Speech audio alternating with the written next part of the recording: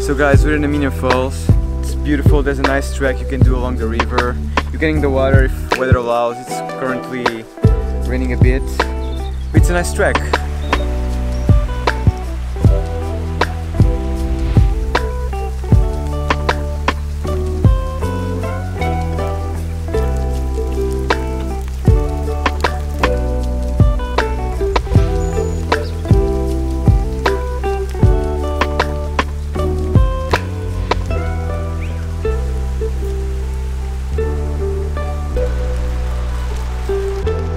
So I was looking forward to fly my drone, but there was a ranger on the, um, on the lookout and she told me no drones mate, so you know, next time.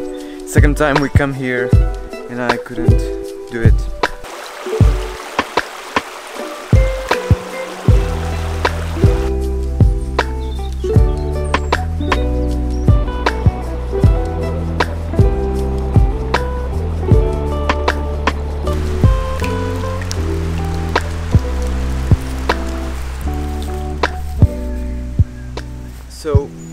Not staying in Byron Bay, we are staying in a small town called Federal because everything else was already booked out and already too pricey so we decided to stay in the hinterland which is like 20 minutes away.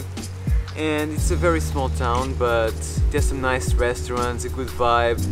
If you're exploring the, um, the waterfalls around Byron Bay it's a good place to, to grab something to eat.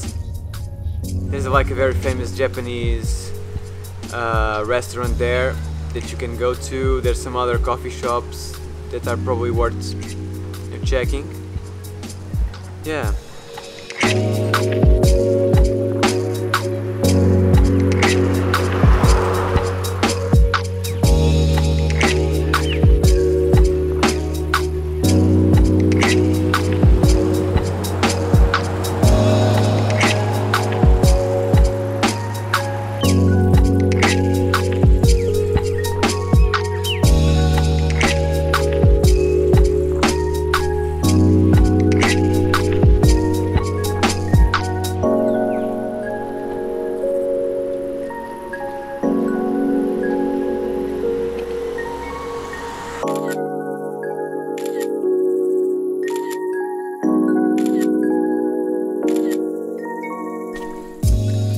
Time to go to our final destination.